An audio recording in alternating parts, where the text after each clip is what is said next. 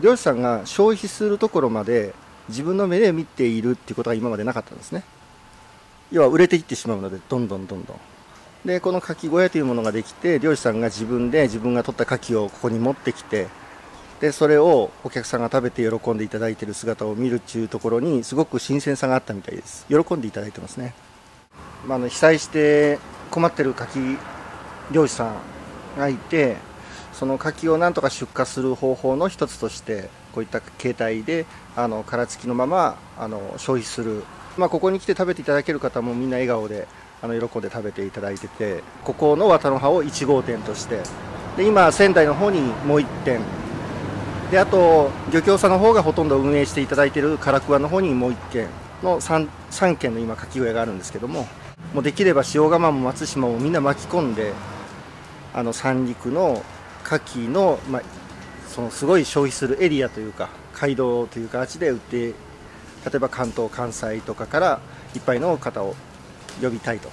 協力していただいた方っていうのもほとんど、まあ、地域の漁師さんをはじめあの漁協の方の力なくしてはやっぱりここまでのことはできなかったかなと。もうこんなちっちゃい小屋なんですけどもあのやっぱり2月3月の時点っていうのは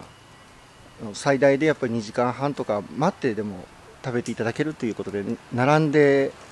いたんですね。だからそれだけあの牡蠣牡蠣がなんかこう発信力があるのか牡蠣が人を呼ぶのか分かんないんですけどもやっぱりすごくいい材料だと思うんでこれに乗せてこっちのメッセージを伝えたいと思ってますね。あれは通常あのホタテの貝殻で原板っていうのを作るんですけども、それをああいうものにしてやるとちょっと身入りのいい形のいい揃った牡蠣ができるんですね。あれはフランスでやってるんですよ若い人たちがね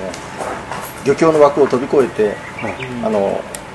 要はいろんな技術をこう教え合いながらやってます、はい、20代30代ぐらいの若い漁師さんがやっぱりちょっとこのままでは自分の先10年20年先がね、あの面白くないと生活はできるでしょうけど、新しいことにチャレンジしていかなきゃいけないしそれは、ね、リスクはもちろんかかってくるんですけどそういう動きがあるのはやっぱりそういう若い漁師さん、えーと、大鹿半島を含めてこの石巻近海の牡蠣はかなり大きいです。石巻に来ればとりあえず何のどんな牡蠣でも食べられるっていうふうにしたいですね。